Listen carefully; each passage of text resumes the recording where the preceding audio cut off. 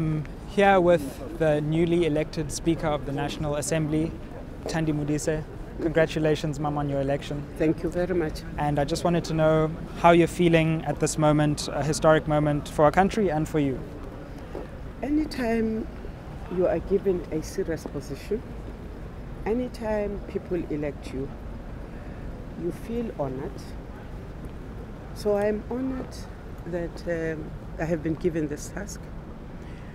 I will serve to the best of my ability. I will be humble because without the people we are nothing. I come from the old school where we were taught to be servants of the people. And that is exactly where I intend to go back to. Make sure that I listen whether I agree with the debate or not and protect that debate because surely somebody has people out there who say they must be brought in. Mm. But to serve in parliament is to be elevated. To be elevated, you've got to deserve it. And if you don't deserve it, you must at least try and satisfy people who think you deserve it. so I'm going to do my best to serve the people of South Africa as best as I can, especially because my generation is going. So at least as we die off, we must do the right things so that our children can have some, you know, images, reflections on people who came before. Mm. So I'm very, very sure that we will do our best. Well, Mama, thank you so much and wishing you all the best for your term. Thank you. Just your assessment of today's events in Parliament very quickly. Yeah, look, obviously today is the beginning of, uh, of the sixth Parliament. It starts a new journey. Our job now is to is to shape this country in a way that we, we haven't been able to do so. So, so for us, uh, today ushers an opportunity where we can reset our economy, make sure it's inclusive, make sure South Africans can find work, but collaborate across different races because it's going to take all of us to build this country. And just lastly, we lost the league, but surely Liverpool's taking the Champions League. I, am sure you agree. As I said to the Man City fans, uh, Brexit is, is for them. We are you staying know? in Europe. We're going to take it. so, so. Spread the fire. I'm here with Minister for Health, Mr. Dr. Aaron Motsoaledi. Thank you so much for joining us, uh, Dr. Motsoaledi. Um, Firstly, can you just explain for our subscribers the way the ministry thing works, that you're still in office until the president is officially takes his oath? Oh, oh, that, yes. yes.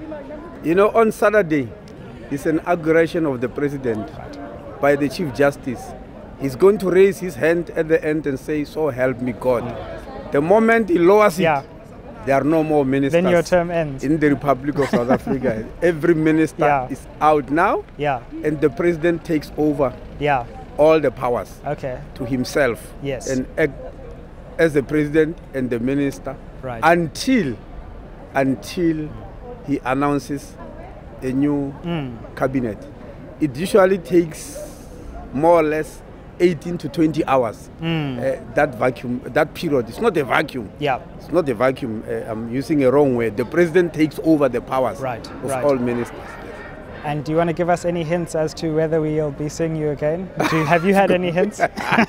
no, not at all. There's mm, nobody who has mm. got a hint on yeah. anything whatsoever. Well, you've been seen as one of the most effective ministers, so I think many people will be hoping that uh, you continue. Well, this is politics. indeed, indeed. And so today we've had the first sitting of the sixth Parliament at the National Assembly for the first time today. Tell us how you're feeling, how you saw the mood of Parliament. It's a new mix. Uh, yeah, no, well, I think the mood was quite ecstatic. People were happy mm. and generally excited, mm. except maybe at the end with this nomination of Speaker, yeah. because people don't want to waste unnecessary time mm. sitting here for an election that definitely shouldn't be. But that's democracy. Sure. That's democracy. I'm just saying everybody knows ANC has got the majority. Mm. And, mm. Uh, you know, but anyway, democracy works that way. And it seemed as though the, the mood was quite good in the ANC caucus this this morning. I saw some, and, and as you've been yesterday, streaming and yesterday, yesterday. The ANC caucus was yesterday. Yes, yes the mood yes. was very high. Mm. Yes. Mm, mm. And uh, just finally, the, the deputy president um, has decided not to um, take up a seat and has postponed that that that moment. Um, your thoughts on that? It's it's taken everyone by surprise. Well, it took me by surprise also. I didn't know anything about it. Wow. I heard about it this morning. Yeah. Like any other person. Many people believe we discuss this in the NEC. No, we don't Hmm. discuss positions in the NEC except the presiding officers. Hmm. But the, the, the, the cabinet positions is a no-no Right. because we can't sit there and discuss ourselves Mm, and, and say I want this one to be there because me I'm going to be there. So Sure. i- nothing was discussed. Yeah. Uh, We don't do that, and, and so I had the story like any other person. Well, Dr. Motsoaledi, thanks so much for your time today. Thank you very much. Thank you. Spread the fire. Welcome back to SMWX. And I'm here with Mabine Seabe, who is. Are you going to be the. Are you now the national coordinator for Uh, communications? um, I'm the acting executive director of communications. Acting Yeah, executive yeah. director. My boss is now an MP. wow. Yes. Wow, man. And uh, old school friend. Do people know this? I don't think they do. I think also find it confusing. Yeah, yeah, Yeah, like exactly. you guys are friends. You, What's going on? You, yeah, exactly. Yeah, well, from from uh, shaking things at St. John's, here we are at Parliament. There's So, it. Um, bro, you have an inside view on the DA. Um, firstly, just in this sitting, what's it been like looking at the sixth Parliament compared to the fifth and seeing a, a completely different composition? Yeah, you know, for instance, I mean, for us on our side, we've got 33 new MPs, uh, which is just over a third um, of our member of parliament contingent, and most of them are young.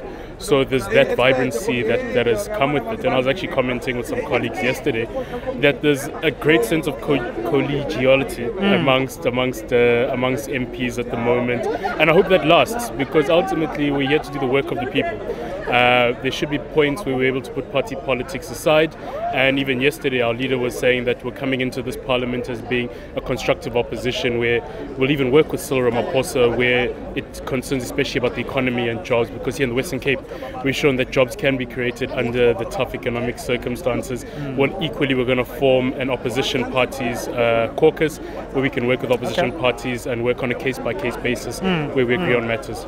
Yeah, I mean, I think you did some really interesting and important stuff in the last administration, especially around corruption. Mm-hmm. Deputy President David Mabuza, mm-hmm. suddenly in the gallery today. Um, were, were you guys by any chance aware of this? Did it take you by surprise? Yeah, no, no, no. We knew that. I mean, he wasn't going to come hmm. through and be sworn today, which shows the kind of tensions hmm. that are happening in the ANC. Hmm. Equally, um, even the appointments, or at least nominations, of people like Thandi uh, Modise, Sylvia Lucas, and so on to be presiding officers in Parliament, uh, well, National Assembly, and the NCOP is very interesting. It shows that Ramaphosa's hand isn't as strong as we think it is, and equally, we'll see what his cabinet looks like. If his cabinet is a complete sham and con- includes some of the same old people, it, it shows that the new dawn uh, is non-existent, and we're in for the same kind of uh, uh, troubles that we were for the nine wasted years. Yeah.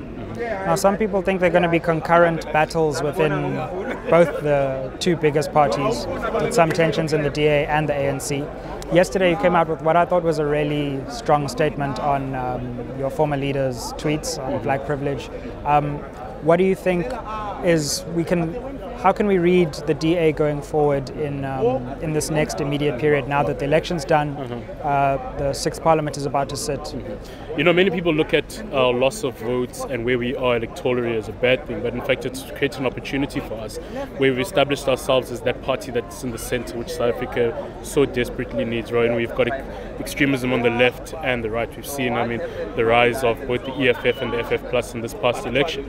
But here we are, people have come come on board and said that, yeah, we believe you as being the party that can bring people together, and we'll continue working for that. It's not fashionable, it doesn't sell newspapers and so on, but there is that project that's necessary around like bringing South Africans together.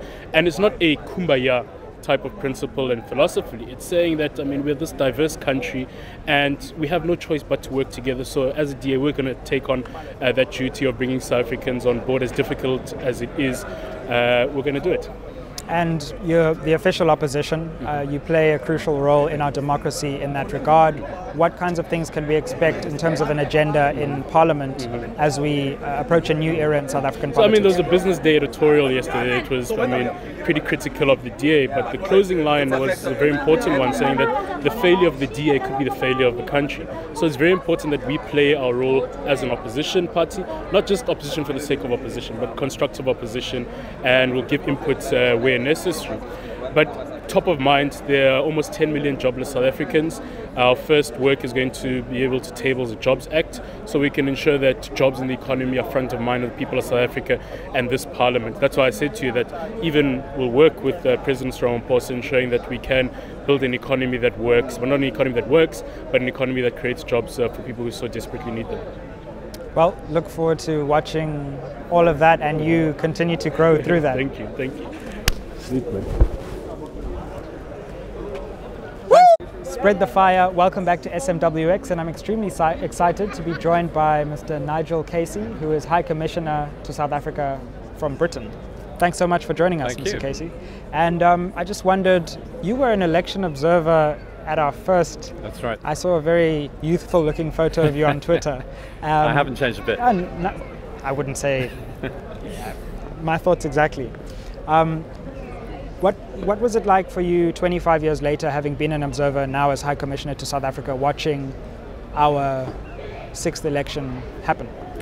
Well, uh, for me, it was a privilege, obviously, uh, to be here in '94. I think all the cliches about the sensification uh, were true, and it's obviously hard to replicate that uh, ever, let alone 25 years on. But Sure. for me, the the main thing I took away from these elections were about the resilience and the ongoing health of South African democracy. 25 years on, uh, uh, the strength of your institutions.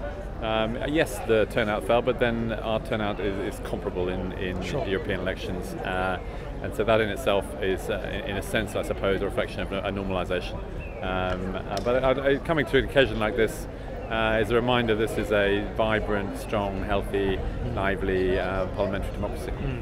And what's it like visiting Parliament, watching as a High Commissioner, different democracies, institutions play out um, from your vantage point? Well, I, I, uh, it's interesting questions this way. I, I don't know if your camera can pan up here, but you asked about vantage points. This building used to be Yeah. where we worked. Before 94, this was our Oh, embassy. Wow. My vantage point was literally that office up there. Talk it's about, now uh, a DIRCO building, uh, quite rightly. Yeah. Um, but Wow, uh, we, had, so we had a privileged ringside seat at the, at the birth of South African democracy. Right, right. And um, look, for me, it's been uh, personally uh, hugely satisfying to to come back now uh, and see uh, see democracy in in, in action. Uh, 25 years later, see what's changed, what still needs to be done. Yeah. Um, as I'm sure we'll hear today, there's you know there's a big agenda, but it's, Sure. it's a contested field. Um, but that, that's the sort of testimony to the the health of the of the process, and uh, it's great to see. And just finally, in terms of the challenge that South Africa confronts with this sixth administration, what do you think the main things that we need to get right as, as a nation are in this uh, period?